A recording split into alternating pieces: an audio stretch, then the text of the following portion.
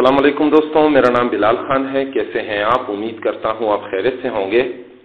तो आज की वीडियो में मैं आपको इस ऐप को जो मैंने बनाया है इसको सर्वर पर डिप्लॉय करूँगा। तो इसके करने से पहले मैं सबसे पहले आपको बताना चाहता हूँ कि कुछ चीज़ों को मैं आ, मैं लोकल होस्ट में यूज़ करता था यानी अपने कंप्यूटर के अंदर ही। अब उसको मैं क्लाउड सर्वर पर अपलोड करूँगा। तो इसके करने के लिए आपको यहाँ पर मैंने आर्टिकल का लिंक ये आर्टिकल है। ये मोंगो डीबी रिसोर्सेज के अंदर मिल जाएगा। मैं इसका लिंक भी आपको डिस्क्रिप्शन में दे दूँगा। तो आप इसका देख सकते हैं how to deploy Mongo DB on Heroku तो ये बेसिकली उसको सर्वर पे अपलोड करने के लिए ये आ, ये आर्टिकल है। आप इसको देख लीजिएगा। तो इसका जो पहला स्टेप होगा वो यहाँ पर आपको मैं बता देता हूँ। यहाँ से आपको रजिस्टर करना पड़ेगा एटलस अकाउंट में जो कि मोंगो का ही अकाउंट है। तो मैं यहाँ पर सबसे पहले आपको क्या करना पड़ेगा? mongodb.com पे जाना पड़ेगा और उसके बाद यहाँ पर आपको रजिस्ट्रेशन के लिए देगा कि आप रजिस्टर करें फ्री में। तो आप रजिस्ट्रेशन करेंगे। यहाँ पर मैं थोड़ा जूम इन कर देता हूँ। कुछ डिटेल्स हैं, जैसे नेम ईमेल एड्रेस वगैरह, वो इंसर्ट करेंगे। उसके बाद यहाँ पर आपको क्लस्टर क्रिएट करना पड़ेगा। तो ये क्लस्टर के अंदर ही आप अपनी एप्स को जितने भी डेटाबेसेस हैं, वो क्रिएट कर सकते हैं। तो इसके करने के लिए सबसे पहले आपको यहाँ पर डिप्लॉय क्लस्टर का ऑप्शन देगा कि आप किसको आप बनाना चाहते हैं फ्री में या पेड वर्जन में। तो मैं फ्री में रिकमेंड करूँगा क्योंकि शुरू में आपको यही इस्तेमाल करना चाहिए। उसके बाद आपको क्लाउड प्रोवाइडर दिया जाएगा और रीजन तो आप क्लाउड प्रोवाइडर जो भी आपको यूज़ करना है, वो उस पर क्लिक करें और उसके बाद जो भी नज़दीक आपका कोई रीजन है एशिया या यूरोप नॉर्थ अमेरिका उस पर क्लिक कर दें। उसके बाद आपको यहाँ पर 1200 एमबी 1200 सॉरी 512 एमबी का स्पेस फ्री में दिया जा रहा है तो आप फ्री के ऑप्शन से सेलेक्ट करें। अगर आपको पेड सेलेक्ट करना है टू जीबी फाइव जीबी तो इसका भी ऑप्शन दिया है, जो आपको बाद में सेलेक्ट कर सकेंगे। उसके बाद आपको यहाँ पर मोंगोडीबी का वर्जन सेलेक्ट करना है और सेलेक्ट क्लस्टर नेम तो उसको क्लस्टर नेम जो भी आप देना चाहते हैं, वो सेलेक्ट करें। उसके बाद यहाँ पर क्रिएट क्लस्टर पे क्लिक करेंगे तो आपका क्लस्टर क्रिएट हो जाएगा। अब इसके बाद यहाँ पर जो चौथा स्टेप है उसमें डेटाबेस का क्रिएट करना और इसी तरह पाँचवें स्टेप में नेटवर्क का नेटवर्क एड्रेसेस का क्रिएट करना वो बताया गया है। जो कि यहाँ पर भी आप देख सकते हैं आ, मैं यहाँ पर आपको मोंगो डीबी एटलस की वेबसाइट पे ले आता हूँ। जब आप अपना अकाउंट बनाएँगे तो आपको ये डेटा और क्लस्टर बनाएँगे तो आपको ये डैशबोर्ड इस तरह शो हो जाएगा। तो मैंने ये क्लस्टर वन के नाम से पहले ही एक क्लस्टर बनाया हुआ है। तो इसके बाद मुझे डेटाबेस की तरफ़ आना है डेटाबेस एक्सेस और यहाँ पर जो है, मैं आपको सबसे पहले डेटाबेस बनाना सिखाऊँगा और उसका नाम देते हैं और पासवर्ड दे देते हैं।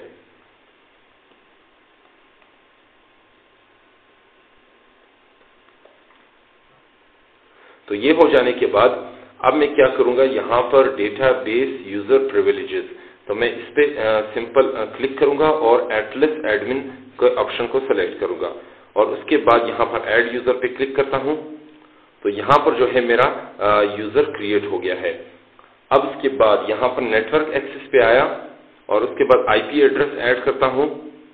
तो मैं यहाँ पर आप अपना आईपी एड्रेस जो भी हो आप दे सकते हैं, लेकिन मैं अलाउ एक्सेस फ्रॉम एनीवेयर पे क्लिक करता हूँ। तो ये ज़ीरो ज़ीरो ये आईपी एड्रेस सेलेक्ट करेगा जिसको, जिस तरह, जिससे मैं ये साइट कहीं भी एक्सेस कर सकता हूँ। तो मैं इसको कंफर्म कर देता हूँ। और यहाँ पर आपको शो हो रहा है कि ये पेंडिंग है। तो ये कुछ टाइम लेगा एक्टिव होने में। उसके उससे पहले मैं यहाँ पर आता हूँ। जब तक ये होता है, मैं डेटाबेस पे वापस क्लिक करता हूँ। और यहाँ पर जो क्लस्टर है इसमें लिखता हूँ यहाँ पर आ, क्या कहते हैं कनेक्ट के ऑप्शन पे। और कनेक्ट में आपको तीन ऑप्शन शो होंगे शेल मोंगोडीबी शेल या कनेक्ट योर एप्लीकेशन या मोंगोडीबी कंपास तो मैं मोंगोडीबी कंपास को पहले यूज़ करता आया हूँ लेकिन मैं आप उसको क्लाउड पे यूज़ करूँगा तो मैं मोंगो कनेक्ट योर एप्लीकेशन पे क्लिक करता हूँ। तो उसके बाद यहाँ पर आप देख सकते हैं कि ड्राइवर और वर्जन आपको दिया गया है। मैं आपको जो भी लैंग्वेज है, आप उसको सेलेक्ट कर सकते हैं। मैं गो को यूज़ कर रहा हूँ तो गो के लिए यही रहने देता हूँ। अब उसके बाद यहाँ पर जो कोड है, मैं इसको सिंपल यहाँ से कॉपी करता हूँ, जो मुझे कोड में यूज़ करना है। इसको यहाँ से क्लोज कर देते हैं और इसके बाद यहाँ पर मॉनिटरिंग में आया और मॉनिटरिंग में यहाँ पर कलेक्शंस पे आया। और कलेक्शन में आप देख सकते हैं कि कोई भी डेटा यहाँ पर मौजूद नहीं है। तो ये जब इंसर्ट करूँगा तो यहाँ पर ये आ जाएगा। तो इसको फ़िलहाल रहने देता हूँ और यहाँ पर जो है मैं विजुअल स्टूडियो कोड खोलता हूँ और यहाँ पर डेटाबेस में आया और डेटाबेस के अंदर ये जो लोकल होस्ट 27017 है, मैं इसको सिंपल यहाँ से कट रिमूव कर देता हूँ। और उसके नीचे उसके साथ यहाँ पर अपलोड करता ये पेस्ट कर देता हूँ, जो मैंने कोड अभी कॉपी किया है। तो यहाँ पर मैंने ये कोड कॉपी कर लिया और इसमें पासवर्ड वगैरह वो भी इंसर्ट कर दिया। अब इसको सेव करते हैं और उसके बाद मेन डॉट गो में आया और आपको एक चीज़ यहाँ पर भी बता देता हूँ। और यहाँ पर आप देख सकते हैं कि मैंने लिसन एंड सर्व लिखा हुआ है। मुझे इसका पोर्ट इंसर्ट करना है। तो इसके करने के लिए मैं सिंपल क्या करूँगा? यहाँ पर लिखूँगा पोर्ट और उसके अंदर लिखूँगा O S get E N V फिर उसके बाद पोर्ट और फिर इस of port is equal to 0 then port is equal to uh, यहाँ पर 8080 ठीक है? तो यहाँ पर मुझे क्या करना है इसको यहाँ से रिमूव कर देता हूँ 8080 और इसके बाद प्लस लिखता हूँ पोर्ट ठीक हो गया? तो ये इधर आ गया है। अब उसके बाद डेटाबेस में मैंने ये जो पासवर्ड वगैरह है वो ऐड कर दिया है। मैं इसका इसको क्लोज कर देता हूँ।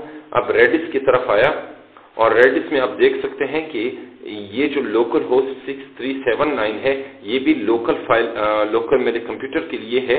तो मैं इसको क्या करूँगा? सर्वर के लिए आ, इसका लिंक दूँगा।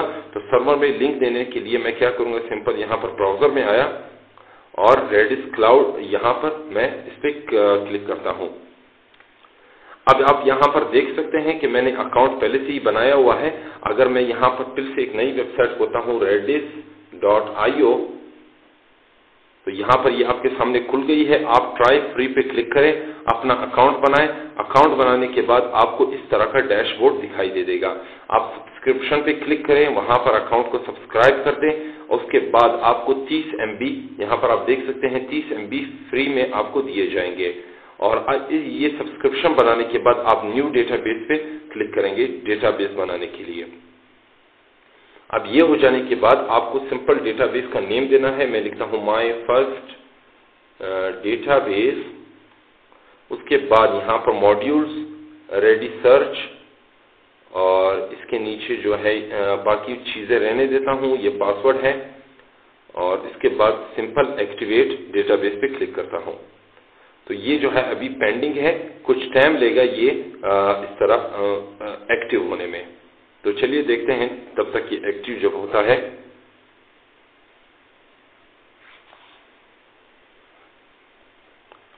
ये देखें, ये एक्टिव हो गया है। तो अब क्या करूँगा मैं? यहाँ पर जो है नीचे इधर आया और ये पब्लिक एंड पॉइंट जो है, इसको मैं सिंपल यहाँ से कॉपी कर देता हूँ। और इसको उठाता हूँ और यहाँ पर जो है एड्रेस इसको मिठा के इसके अंदर वो पेस्ट कर देता हूँ। उसके बाद मैं नीचे आया और इसी तरह यहाँ पर नीचे आने के बाद ये जो पासवर्ड है, मैं इसको भी क्या करता हूँ? कॉपी करता हूँ और इसके बाद इस पासवर्ड को यहाँ पर पेस्ट कर देता हूँ। अब सिंपल मैं क्या करूँगा? इसको क्लाइंट को उठाऊँगा और इसको कॉपी करने के बाद इसको यहाँ पर मिठा के इधर पेस्ट कर देता हूँ और इधर भी इसको डिलीट करके इसकी जगह ये पेस्ट कर देता हूँ। तो ये अब इस तरह हो जाएगा। तो अब ये ठीक है। और एक चीज़ मैंने आपको बतानी थी ये जो रेडिस डॉट गो है इसको मैंने पिछली वीडियो में यहाँ पर कंट्रोलर्स डॉट गो कंट्रोलर्स के फोल्डर में हैंडल्स और गो की आ, क्या कहते हैं फ़ाइल में यूज़ किया हुआ था। तो इसको मैंने वहाँ से हटा के इसको यहाँ पर डेटाबेस के अंदर एक फ़ाइल बनाई रेडिस डॉट गो के नाम से और इसको मैंने यहाँ पर वो कोड यहाँ पर डाल दिया है। तो बाकी चीज़ें चेंज नहीं की सिर्फ़ इसके कोड एक फोल्डर से एक फ़ाइल से दूसरे फ़ाइल में ट्रांसफ़र कर दिया।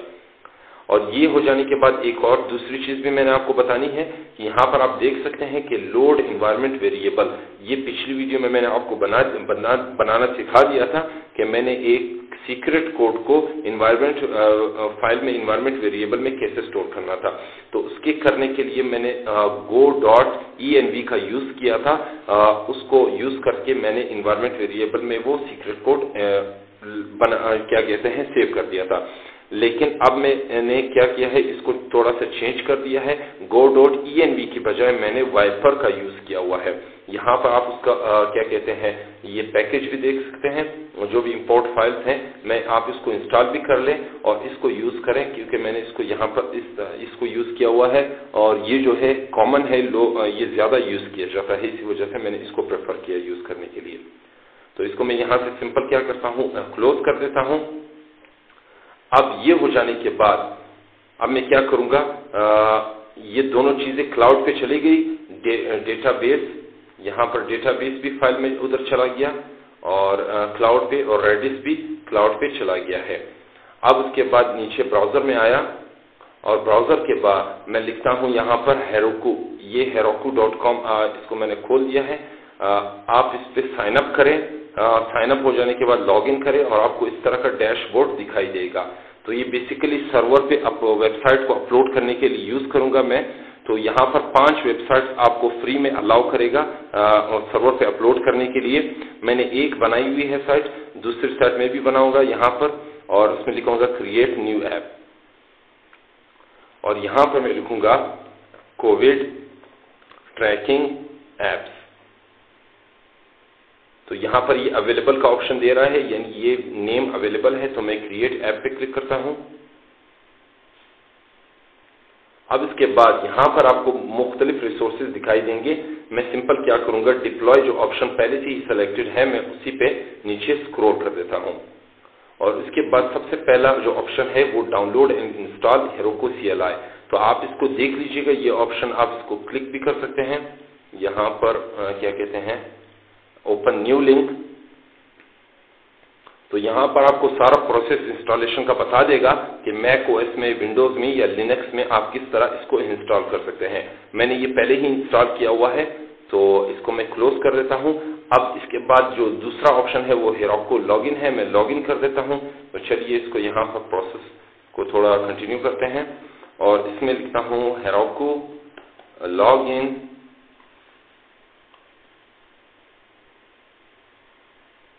इसको क्लोज कर देते हैं। एक मतलब मैंने आपको दूसरी चीज़ भी बना बतानी थी। यहाँ पर मैंने एक प्रोक फ़ाइल भी बनाई हुई है। ये प्रोक फ़ाइल वेब उसके बाद कोविड ट्रैकर ऐप का नेम दिया हुआ है। तो ये बेसिकली हेरोको के फ़ाइल में हेरोको के आ, को स, जब यूज़ करता हूँ या सर्वर पे इस ऐप को हेरोको के ऐप को वहाँ पर अपलोड करता हूँ तो इस फ़ाइल की मुझे ज़रूरत है। तो मैंने पहले से बनाई हुई है। आपको सिर्फ़ बताना बाकी था तो मैंने अभी आपको बता दिया है। अब चलते हैं, इसको क्लियर करते हैं। हेरोकू लॉगिन इसको क्लोज कर देता हूँ। अब इस पे कोई भी की मैं इंसर्ट करूँगा। यहाँ पर मैंने इंसर्ट किया।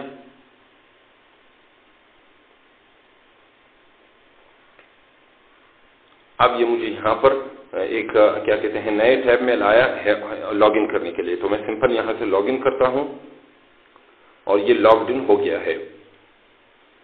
उसके बाद यहाँ पर आता हूँ इसको क्लियर करता हूँ सी डी कोविड ट्रैकर और उसके बाद मैं लिखता हूँ R M R F git तो ये गिट को इनिशलाइज जो मैंने पहले से किया हुआ था पहले भी किया हुआ था तो मैं इसको रिमूव कर दिया। अब फिर से इनिशलाइज करता हूँ गिट इनिट तो अभी इनिशलाइज हो गया है फिर से। उसके बाद मैं लिखूँगा यहाँ पर क्या कहते हैं Heroku git remote sorry get remote और ए और इसके बाद कोविड ट्रैकिंग एप्स वो जो एरोको में मैंने ऐप बनाई है, उसका नाम यहाँ पर दे दिया है। अब इसको एंटर करते हैं। यहाँ पर उसने गिट की फ़ाइल यहाँ पर क्रिएट कर दी है। अब इसको क्लियर करता हूँ और उसके बाद लिखता हूँ गिट एड ये डैश डॉट उसके बाद गिट कमिट एम और इसके अंदर लिखता हूँ मेक इट बेटर ये स्ट्रिंग वैल्यू है। तो यहाँ पर ये जितने भी फाइल्स थी, वो यहाँ पर इसने ले आई है। और इसके बाद यहाँ पर मैं क्या करूँगा? एक, यहाँ हाँ सॉरी गिट पुश हेरोको और master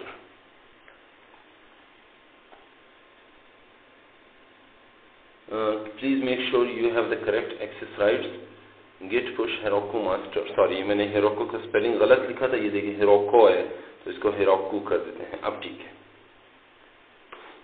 अब ये थोड़ा टाइम लेगा। आ, क्या कहते हैं आप डिप्लॉय होने में तो जब डिप्लॉय हो जाता है तो आपको दिखाई दे देगा।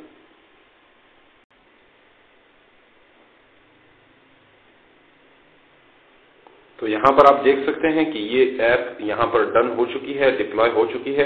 तो आप इस लिंक का यूज़ कर सकते हैं। यहाँ से अगर आप इस लिंक को कॉपी करेंगे और वहाँ पर ब्राउज़र में पेस्ट कर देंगे, तब भी ये काम करेगा। या अगर आप सिंपल इसमें यहाँ पर लिखेंगे हिरोको ओपन तब भी ये ओपन हो जाएगा। तो मैं इसको क्लोज कर देता हूँ।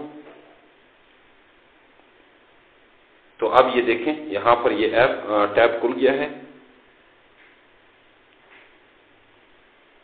तो ये ऐप यहाँ पर डिप्लॉय हो गई है। देखें Covid tracking app dot Heroku app dot com तो ये इसका बाय डिफ़ॉल्ट जो डोमेन है, ये जनरेट हो गया है। तो इसके बाद मैं सिंपल क्या करूँगा? साइन अप पे क्लिक करूँगा।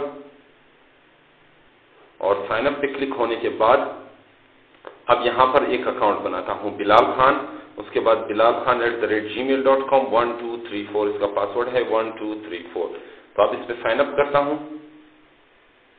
तो अब ये देखें your account has been successfully created अब एटलस में आया और एटलस में आने के बाद मैं सिंपल इसको यहाँ से रिफ्रेश करता हूँ।